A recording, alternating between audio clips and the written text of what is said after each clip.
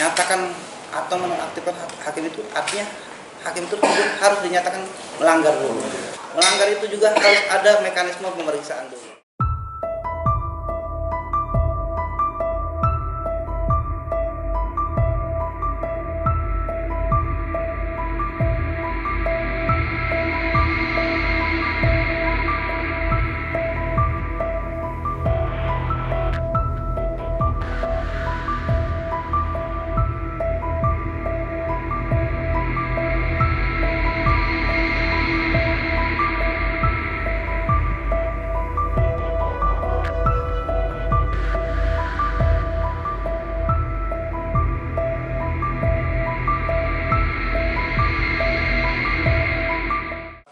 Terhadap putusan yang menjadi ya menjadi hit jadi viral hari ini.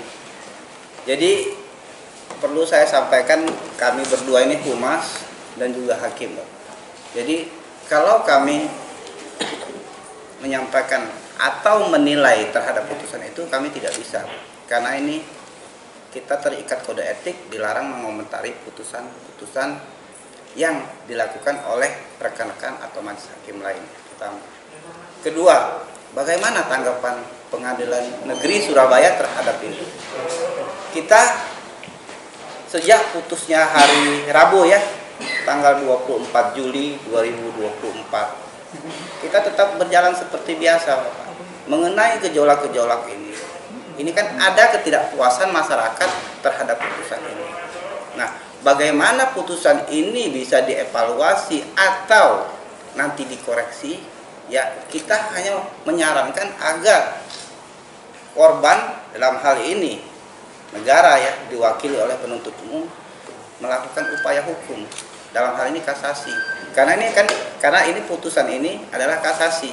Apa apanya? Bebas. Kalau bebas artinya itu harus kasasi.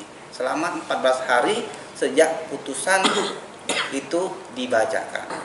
Nah, lalu pasti banyak tanggapan bagaimana Pak terhadap hakim yang masih bertugas atau tidak? Atau Pak ada juga pertanyaan tadi, Pak ini dinonaktifkan atau tidak?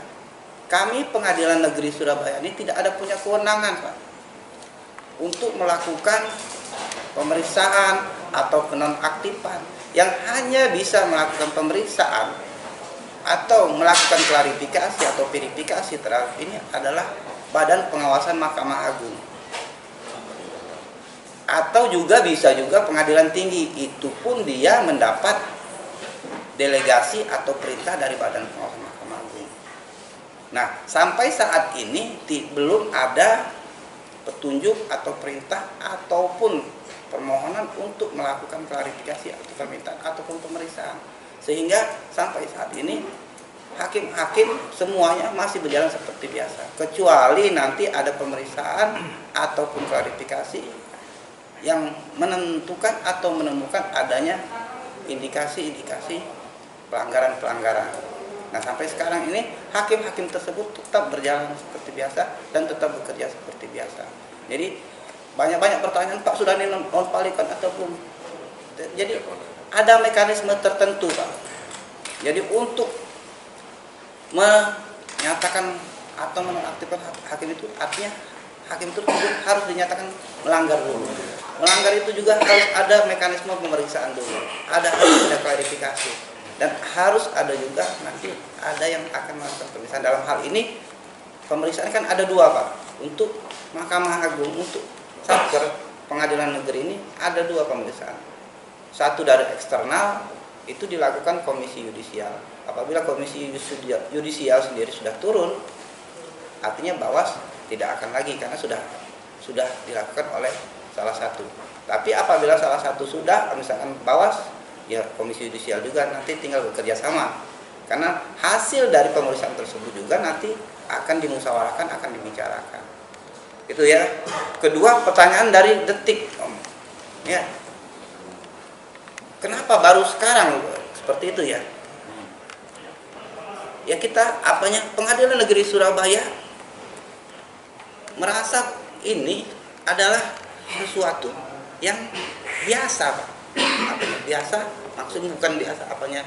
Maksudnya bukan menyepelekan, artinya kita bereaksi ini karena memang tidak bisa menyampaikan oh kami sudah melakukan pemeriksaan oh kami seperti tuntutan-tuntutan masyarakat sekarang ya kami sudah menonaktifkan belum bisa. Karena yang melakukan melakukan tindakan itu adalah badan di atas kami. Kami ini satker yang terbawah yang melakukan pemeriksaan yang akan melakukan investigasi atau yang melakukan nanti telah-telah adalah badan pengawasan Mahkamah Agung atau Komisi Judisial dan sampai saat ini kami juga saya sudah sampaikan sama Pak Ketua tadi belum ada belum ada surat permohonan atau juga pemberitahuan akan dilakukan pemeriksaan ataupun dilakukan permintaan klarifikasi. Demikian semuanya. Pak, soal informasi hari Jumat kemarin ada pemeriksaan dari KY terhadap Pak Bunda Manik seperti apa Pak? Hari Jumat ini ini mis, mis apanya miskomunikasi juga mispersepsi hmm. juga Pak hmm. Perlu saya sampaikan hari Jumat itu tidak ada belum ada. Sampai saat ini juga belum ada. Mungkin PT ada yang dipanggil? Nanti. Di pengadilan tinggi kemarin memang kita hari ini ada purna tugas ketua pengadilan tinggi. Sehingga banyak hakim-hakim di seluruh Jawa Timur ini termasuk Surabaya ini kemarin juga diundang untuk hadir atau geladi terhadap acara tersebut. Jadi kehadiran hakim ya termasuk majelis hakim yang menjangkan perkara Ronald Tanu ini bukan dalam kategori kapasitas untuk dilakukan pemeriksaan atau dilakukan klarifikasi.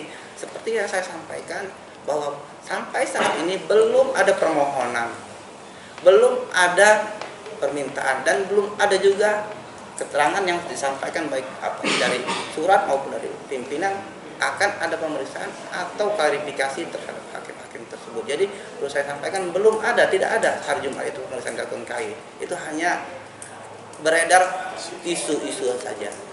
Pak, berarti sampai hari ini baik KAI maupun Bawas masih belum ada, masih belum turun, Pak? Per hari ini belum ada, Pak. Belum hari ini belum ada. Pak, ya. terkait hakim mengurangi atau tidak memberikan kasus-kasus serupa, perkara serupa kepada beliau?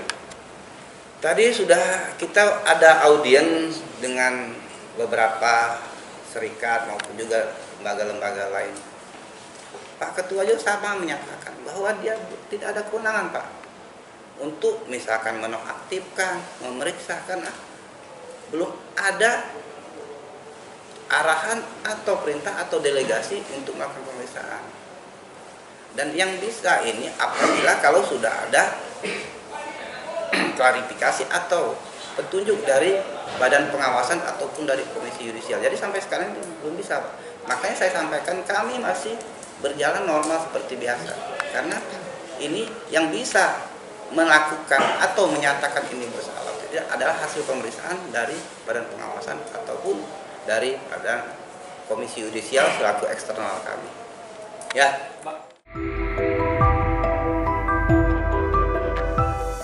Antara banyak sumber informasi, kami layak dipercaya. Karena kami menggali lebih dalam, berpihak pada kebenaran, berpegang pada data dan fakta, agar layak Anda jadikan referensi.